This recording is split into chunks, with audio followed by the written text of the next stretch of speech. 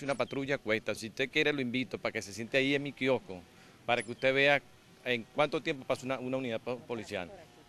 Aquí tenemos de todo, pues aquí atracan a la gente. Lo que es la avenida 6, que divide el sector 5 con el sector 6, la vereda que está detrás del bloque 1 y bloque 2, eso lo han agarrado para asaltar a la gente. Los malandros quiebran los bombillos, no hay una presencia policial. Nosotros le pedimos al comisario Aguirre que por favor coloque un punto de control aunque sea eso, en esa, en esa avenida, ya que los vecinos se están quejando demasiado y ya no hayamos a quién acudir. De aquí del CDI o lo pongan en otro lado, porque eso perjudica a los enfermos de allí.